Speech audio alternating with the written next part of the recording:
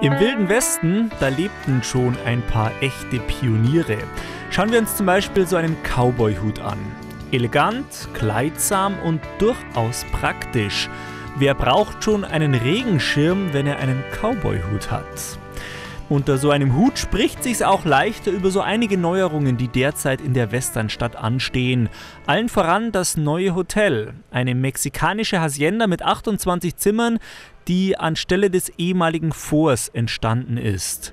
Für dieses Hotel haben sich die Verantwortlichen auch für einen neuen Energieträger entschieden. Erdgas. Natürlich gibt es auch die Möglichkeit Flüssiggas, äh, Heizöl, äh, Pellets etc. Wir haben auch überlegt, ob wir äh, mit, mit, mit ähm, Hackschnitzel arbeiten, aber überall diese, dieser Aufwand und diese Größenordnung, da ist Erdgas ohne Lagerhaltung, ohne riesen Personalkosten am besten zum Handeln für uns. Wir haben dann eben letztes Jahr schon angefangen, die 800 Meter kombiniert mit einem ähm, Stromprojekt mit einer 20 kV Verkabelung ähm, zu legen und haben dann dieses Jahr im Frühjahr wieder die Planungen für das letzte Stück aufgenommen und haben, das waren dann nochmal 830 Meter und haben dann in Kombination mit der Gemeinde 150 Meter Wasserleitung noch mit verlegt und Leerrohr für ein Lichtwellenkabel. Eine besondere Herausforderung war dabei ein etwa 300 Meter langer Treibpfad, der normalerweise für die Bisons genutzt wird und unter dem nun große Teile der Gasleitung entlanglaufen. Unsere Bison laufen seit 16 Jahren immer den gleichen Weg.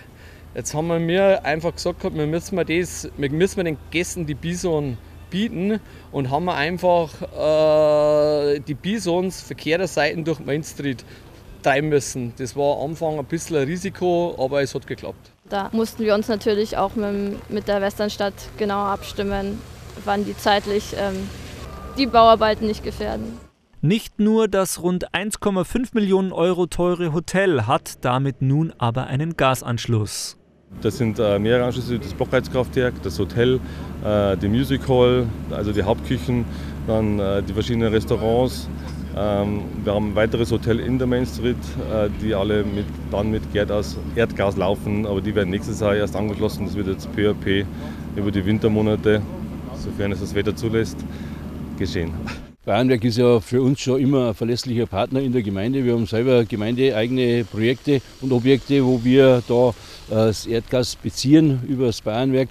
Und da freut es uns natürlich, dass auch die Verantwortlichen von Pullman City jetzt also ihr ganzes Areal, die Westernstadt, mit Erdgas versorgen. Eine Win-Win-Situation also für alle Beteiligten. Denn geht es der Westernstadt gut, dann hat das auch für die Gemeinde einige Vorteile. Pullman City ist für uns ein großer Fremdenverkehrsmagnet und wir sind eine Tourismusgemeinde. Und wenn natürlich da Pullman City immer wieder investiert und immer wieder auf dem neuesten Stand ist, dann ist das erfreulich für unsere Gemeinde. Wie gesagt, es waren schon immer praktisch denkende Menschen, diese Cowboys. In Eging am See steckt das an. Der Cowboy-Hut für alle Beteiligten hat deshalb am Ende nicht nur zum Wetter gepasst.